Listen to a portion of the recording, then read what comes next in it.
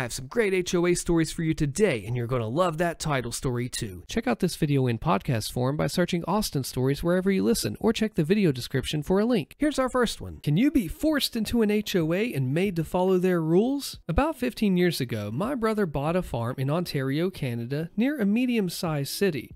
In the last five years or so, an upper middle class subdivision popped up beside of him, which for the most part wasn't much of a problem. Today, he had the president of the HOA for the subdivision come over to him and tried to issue him demands and fines for violating their rules. His farm was originally established in the late 1800s and the subdivision was built around 2010, so it's not like he was part of them when they were built.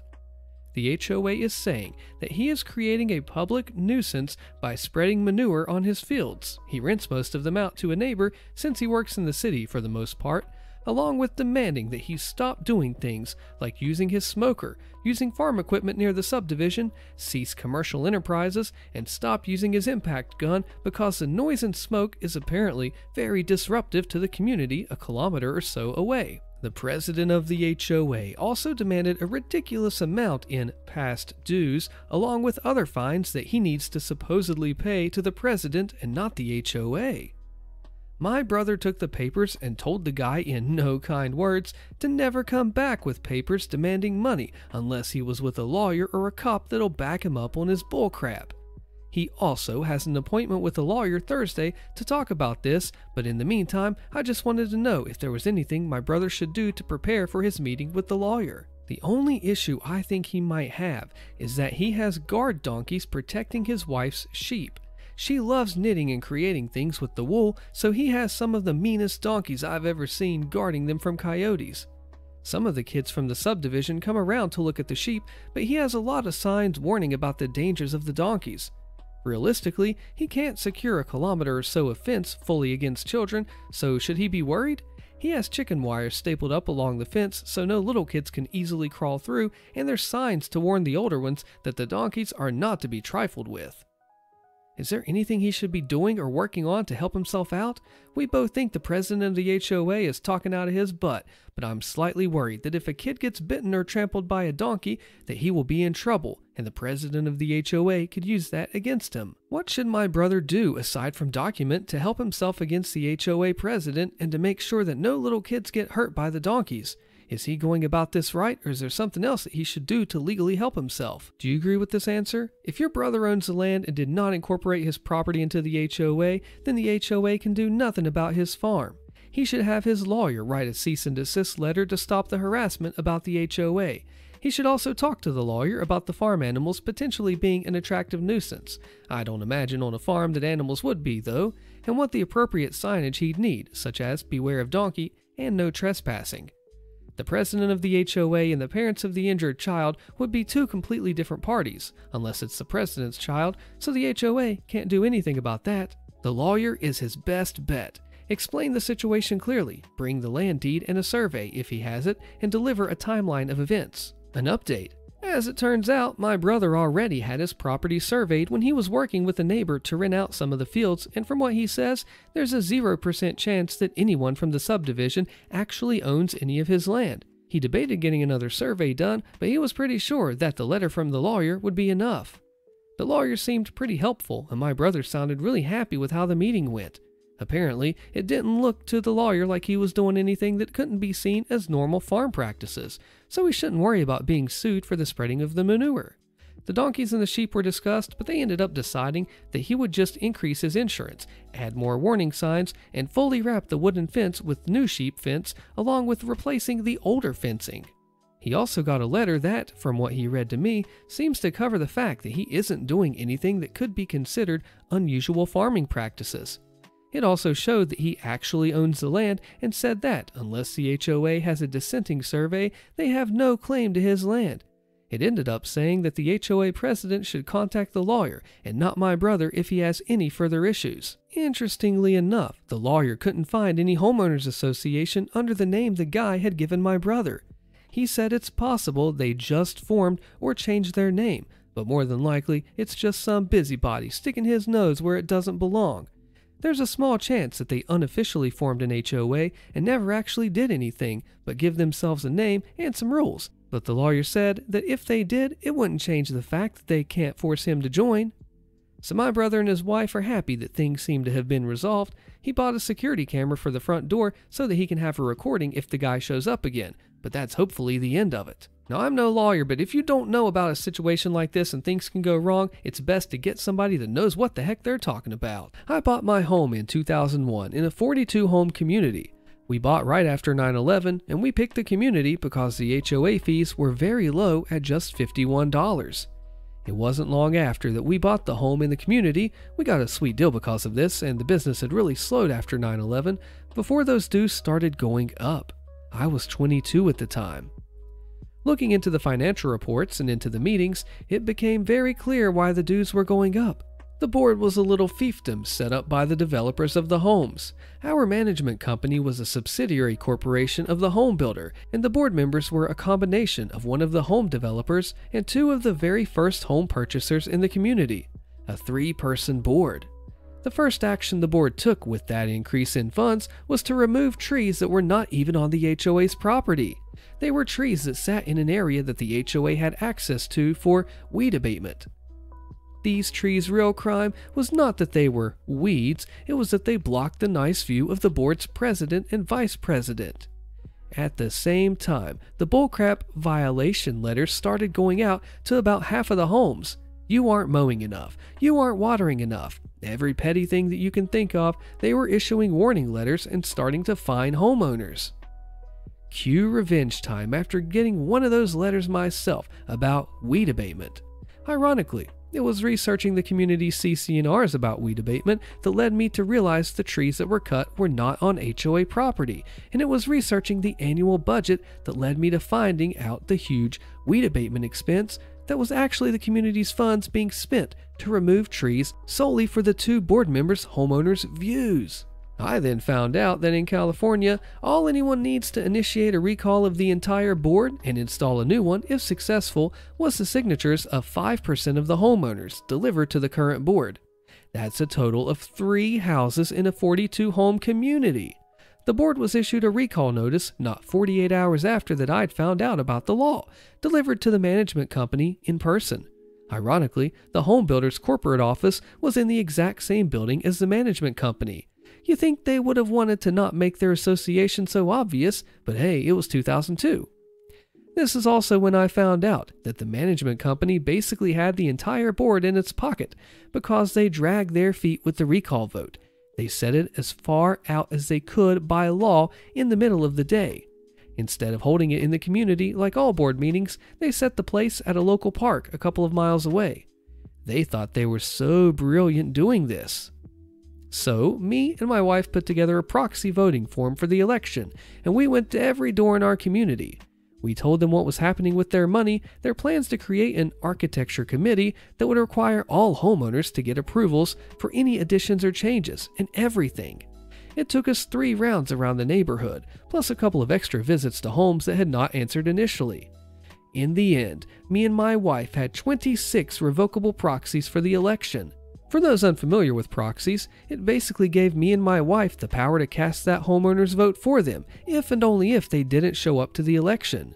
The thoughtless board and management company actually made it easier for us to collect the proxies because a lot of homeowners flat out could not make the time and place of the meeting. The recall day finally arrives. The current board members are all there, the management company representative is there, and eight other homeowners showed up to the meeting, six of whom we had proxies for and which were revoked by their attendance. They opened the meeting and started saying something about, oh, looks like a waste of money, there isn't a quorum, blah blah. I then said, I'm sorry, but we do have a quorum. They're like, uh, no, you don't. You need 22 homeowners here, and there's only 12 the three board members, me and wifey, and the eight others that showed up. And that's when I pulled out the trump card. I dropped all 26 proxies on the bench table that everyone was sitting at and said, Hey, I'm sorry, but there are more than 30 homeowners present, and then I pointed out the math.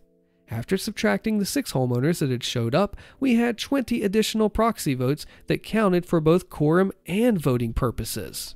They all got wide eyed, most especially the management company representative. He came over and looked at the forms very closely and compared it against a list of the homeowners.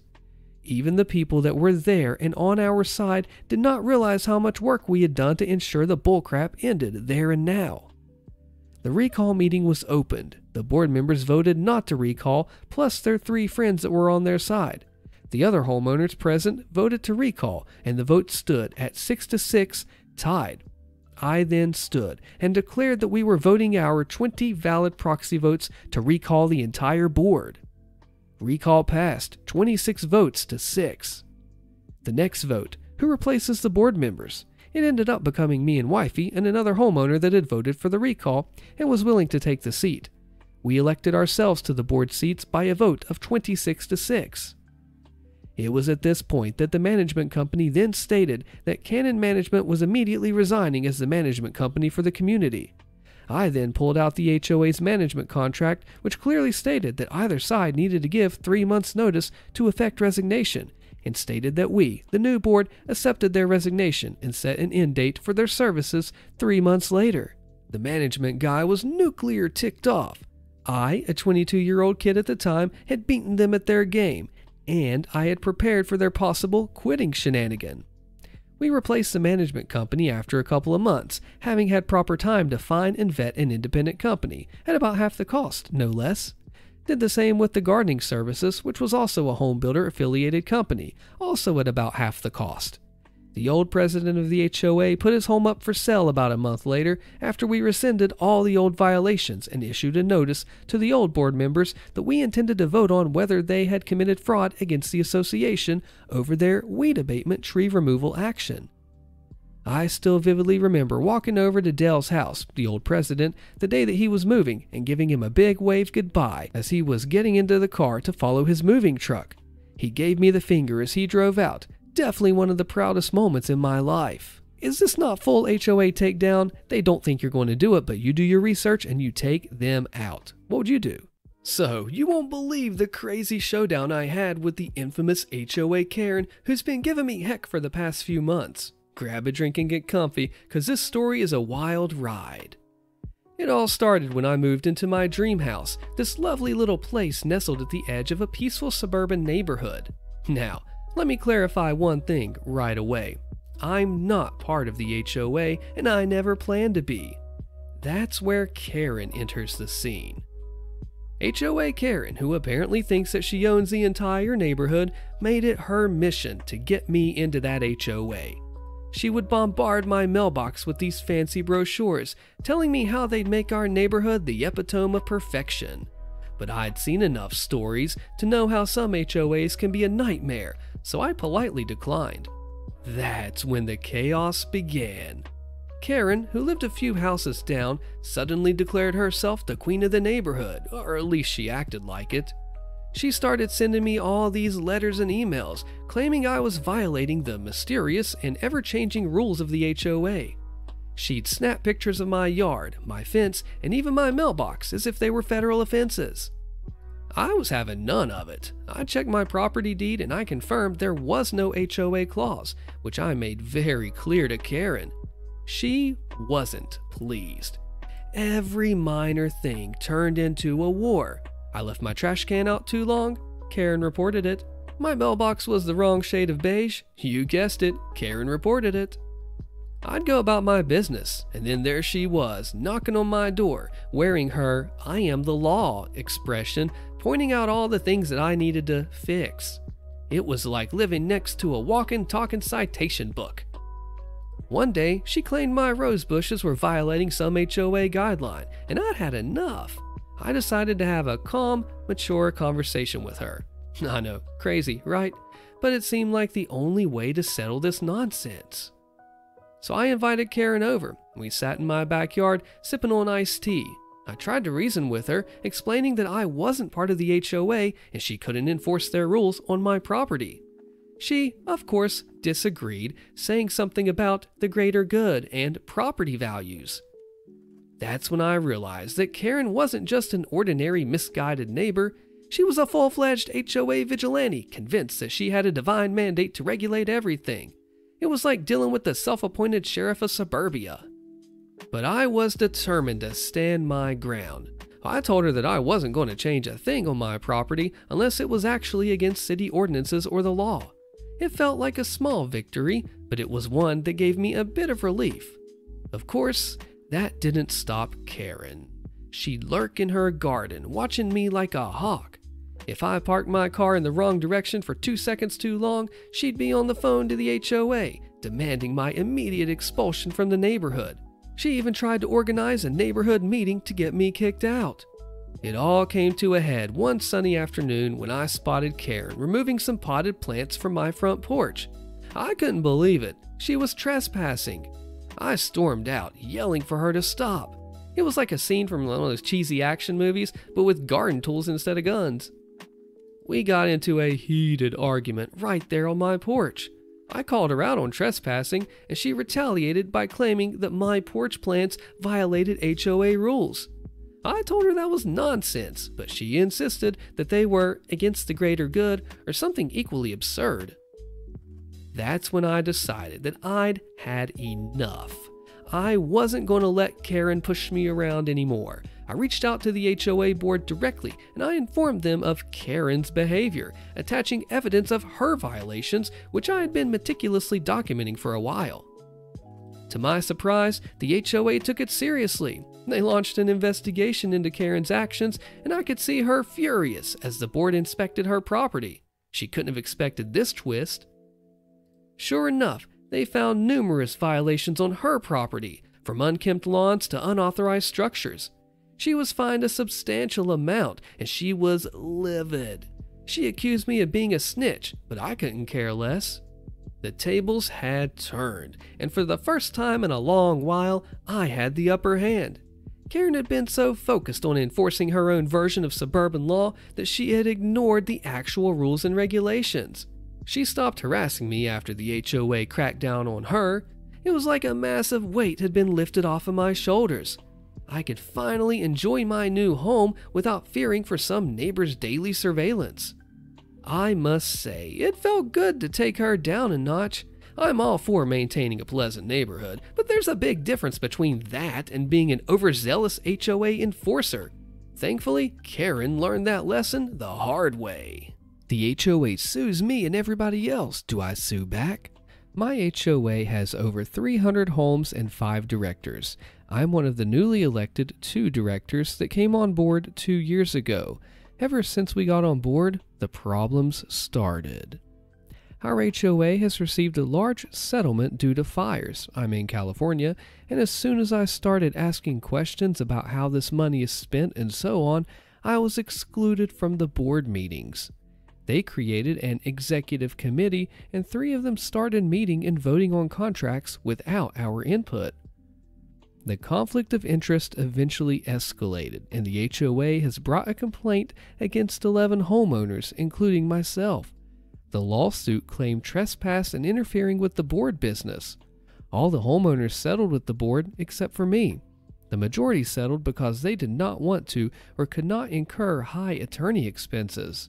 I was able to obtain some incomplete financials and found cases of overpayment, overcharging, lying on accounting documents, and so on.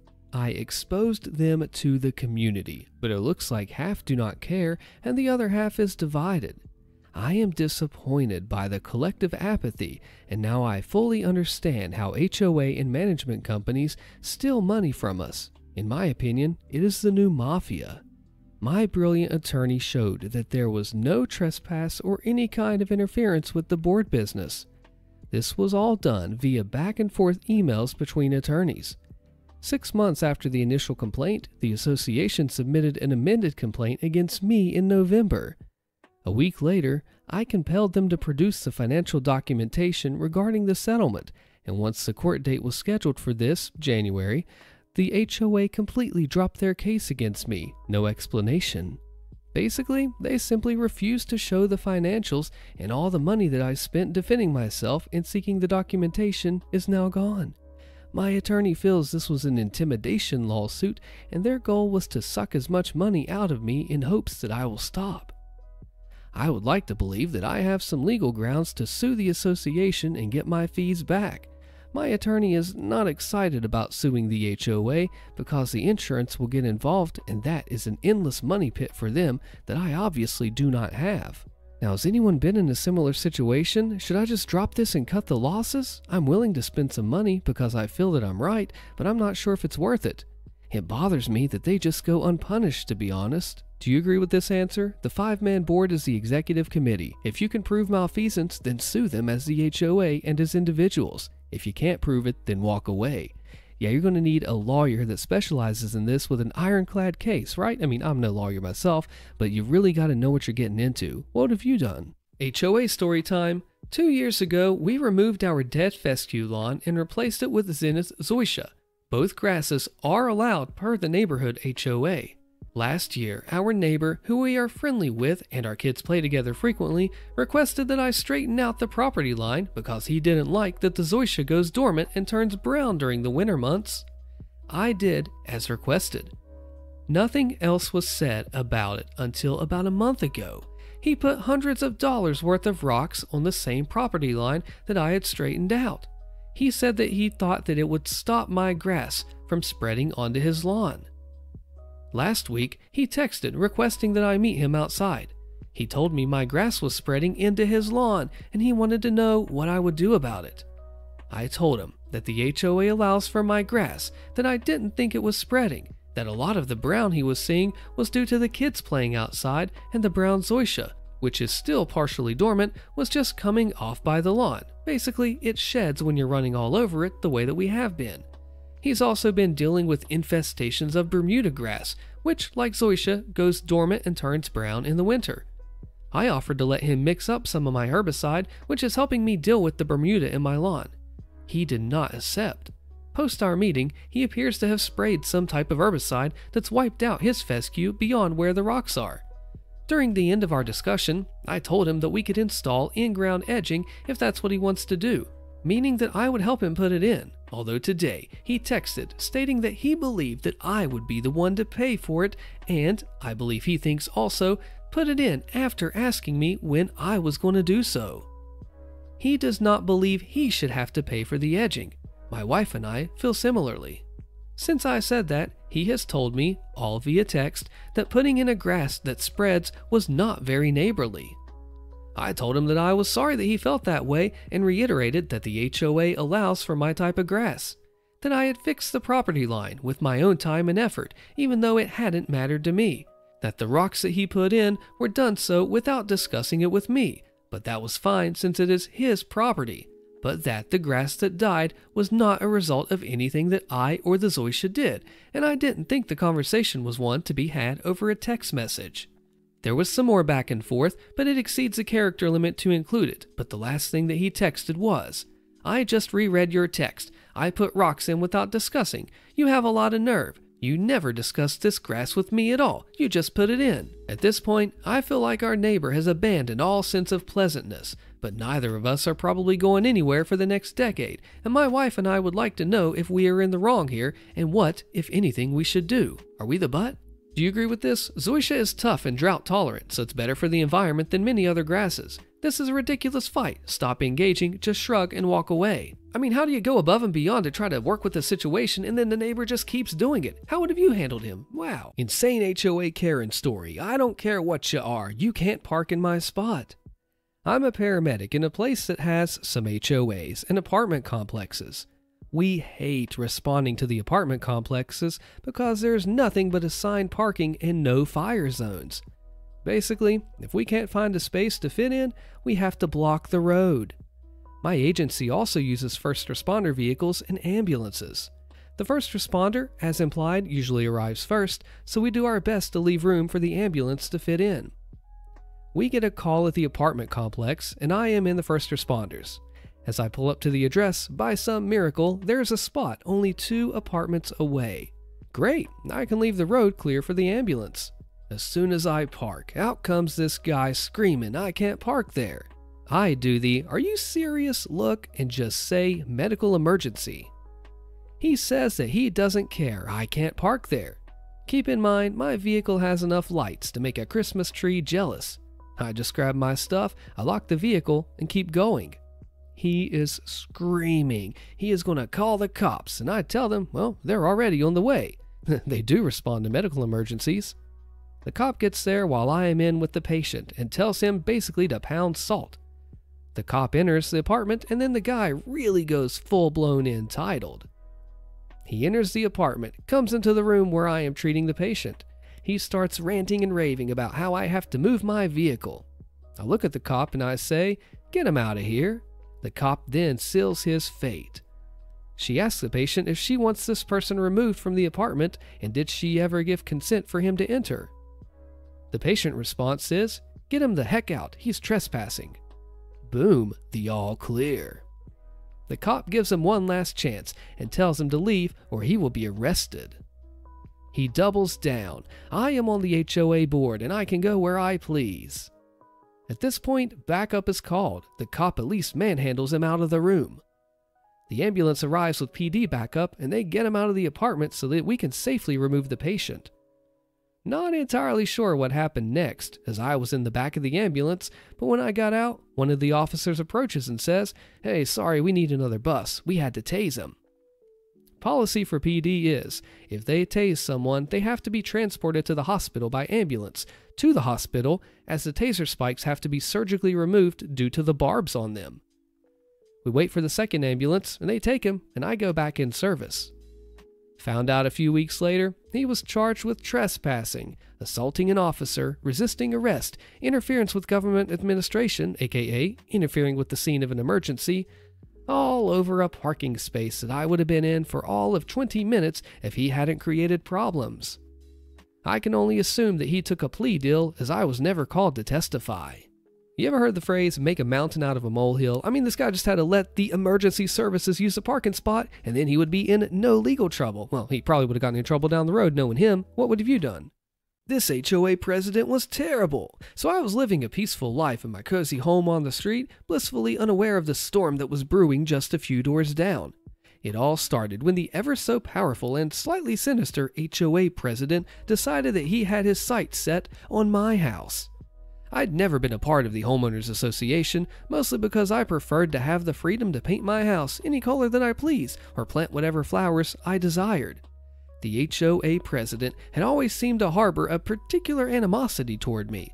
Perhaps it was because I had a house that he secretly coveted, or maybe it was simply because I didn't conform to his vision of a perfectly manicured neighborhood. The signs of trouble began to surface when I received a letter in the mail one sunny morning. It was from the HOA, you guessed it, stating that they had placed a lien on my property for unpaid dues. It just was absurd because I wasn't even a member, and I certainly hadn't received any bills from them. The HOA president was using scare tactics to force me out, and I was determined not to give in. I knew my rights, and I knew that they could not legally put a lien on my property. I decided to confront that HOA president, hoping that a simple conversation could resolve the matter. I knocked on his door. My heart was pounding in my chest as I prepared for our showdown. The HOA president, with a smug grin on his face, welcomed me into his living room. What brings you here, neighbor? he asked, feigning politeness. I cut right to the chase. Mr. President, I am not a part of the HOA, and I've never received any bills from you. Why'd you put a lien on my house? He chuckled condescendingly and said, Oh, you see, there must have been a mix up, but if you can cooperate and sell me your house, we can make this all go away. It's a win win for both of us. I was just taken aback by his audacity. He wanted my house, and he wasn't even trying to hide it anymore. HOA, Mr. President, I'm not selling my home. This is my property, and you have no right to do this. His face turned red with anger, and he shouted, If you don't cooperate, I'll make sure that lien sticks, and you'll have a hard time ever selling your house to anyone else. I left his house, seething with anger and frustration. It was clear that the HOA president was willing to go to great lengths to get what he wanted, but I wasn't about to back down. So I decided to do some digging of my own. I went to the county office to check the records, and what I discovered left me in shock. The HOA president had tried to put the lien on my house under the table without the knowledge of the rest of the HOA. It was a blatant violation of their rules, and he had knowingly hidden it from everyone else. Armed with this evidence, I attended the next HOA meeting. I presented the documents that proved the HOA president's deceit. The room fell silent as everyone looked at the incriminating paperwork. The atmosphere in the room grew tense, and the tension was palpable. The other board members were a mix of shock and anger. They exchanged uneasy glances, realizing the magnitude of the HOA president's actions. The HOA president's face turned ashen and he just stammered, This is all a misunderstanding and never intended for this to happen. It's a clerical error. But the other board members were not convinced. They were furious at the breach of trust. One of them, she was a tall and stern woman, spoke up. Her voice was just quivering with anger at this point. HOA president, you've crossed a line that can't be ignored. You're dismissed from the HOA board, effective immediately. The room erupted into a heated debate as other board members voiced their outrage. The confrontation was fierce, and it was clear that the majority stood with the evidence and the rules of the HOA. The HOA president was ousted, though, and my house was free from the wrongful lien. As I walked out of that meeting, I couldn't help but feel a sense of triumph. The HOA president's jealousy and greed had finally caught up with him, and justice had prevailed. I returned home, relieved that my house was safe from the clutches of this power hungry former HOA president. HOA story time. I was having a great day, that is, until HOA Karen decided to rear her ugly head. Seriously, I have to tell you what happened. So, my wife and kids and I, we'd always loved our house and our lawn. It was nestled in the heart of a friendly suburban neighborhood. It was a huge upgrade from our last place, and we were in love with it. But there was one dark cloud that loomed over our American dream white picket fence life the Homeowners Association and its notorious member, HOA Karen. Just think of the ugliest witch that you saw this past Halloween. Yeah, that's only like a quarter as ugly as this Karen. She's so awful, she makes the Grinch jealous. But yeah, we'd heard tales of her petty squabbles and the havoc that she'd end up wreaking on the neighbors, but nothing prepared us for the ordeal that was about to unfold. So it all started with our house, right? Ours was beautiful, slightly larger than the rest, with a charming white picket fence and a well landscaped front yard. It wasn't ridiculously huge, just a bit more spacious, and Karen couldn't seem to handle us being so happy. She'd often peer out of her living room window, glaring at us, as we spent time in our yard. It was kind of unsettling, but we tried our best to ignore her, because I mean, like, what else are you going to do? Well, come to find out, I spoke too soon. One day, as we were enjoying a family barbecue in our backyard, which is grilling steaks, I mean, I'm a dad, it's what we do, medium is the best way, right? We saw Karen venture past our property line, into our yard, as if marking her territory like a strange mutt with an ego, so far from home, trying to be the king of the castle or the neighborhood. I approached her and politely asked her to just respect our boundaries, but she brushed me off, claiming she had a right to keep an eye on us. What a creep. Well, things took a terrifying turn one night. We were in our living room watching a movie when a loud crash shattered our peace and quiet.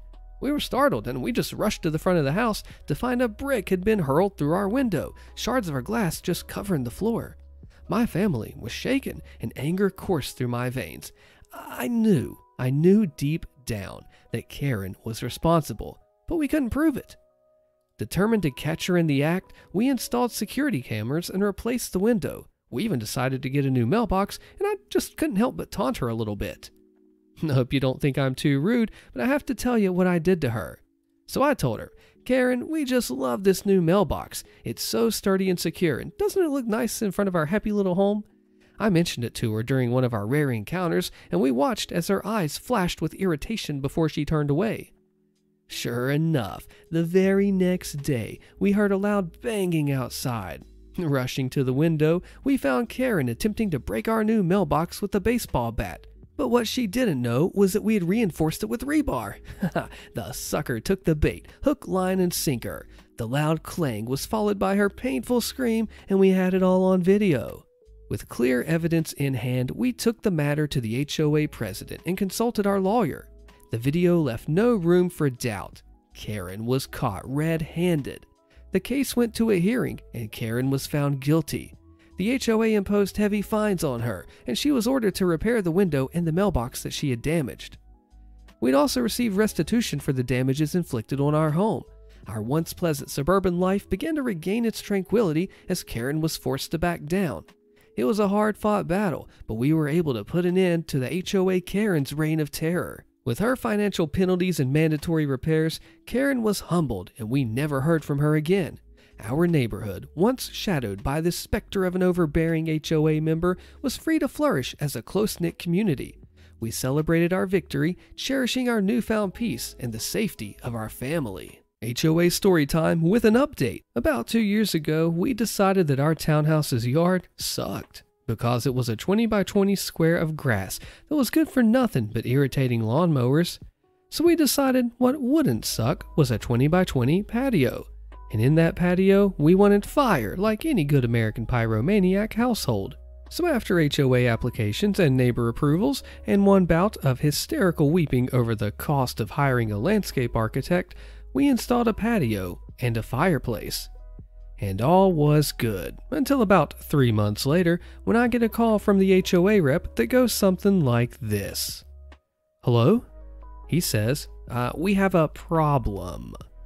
Well, that's unfortunate for you. It's about your fireplace. You mean the one that you approved in May? As in May, and it's now November? Well, it shouldn't be there. It's against fire code. Well, it weighs 7,000 pounds and you approved it, so it ain't moving. Didn't you get the county to check on this? It's clearly against fire code. Tell you what, you send me the statute that you think we're violating, and I'll talk to our landscape architect. Here's my email. I give him my email reserved for idiots and spam bots. One email, and a few clicks later, I realize they're looking at my county's regs toward bonfires and fire pits. And I'm going to assume that 7,000 pounds indicates that this is neither of those things.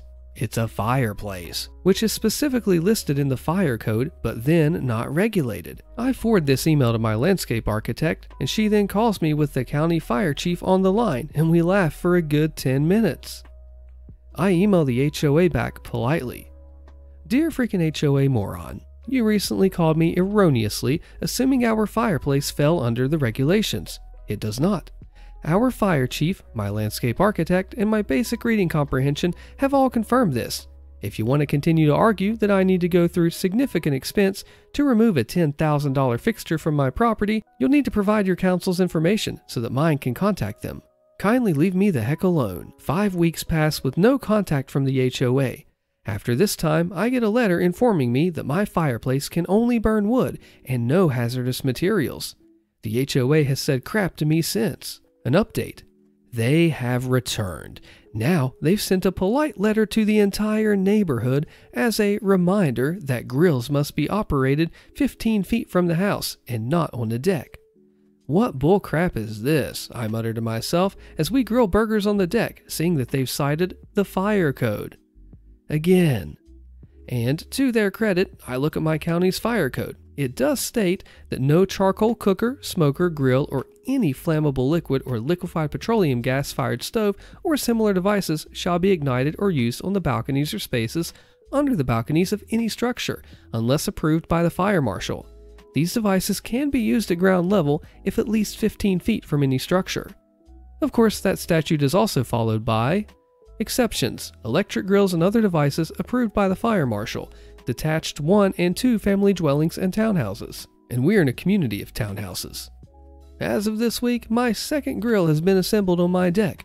I await the upcoming HOA phone call as the bow hunter waits for a deer to close that last few feet. What do you think about standing up to the HOA? What would have you done? Karen tows my car off of my property. Click the video on your screen to find out what happens to Karen, and I'll see you there.